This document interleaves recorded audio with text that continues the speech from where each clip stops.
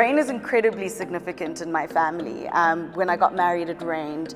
Um, when my brother passed away, it rained. When we buried him, it rained.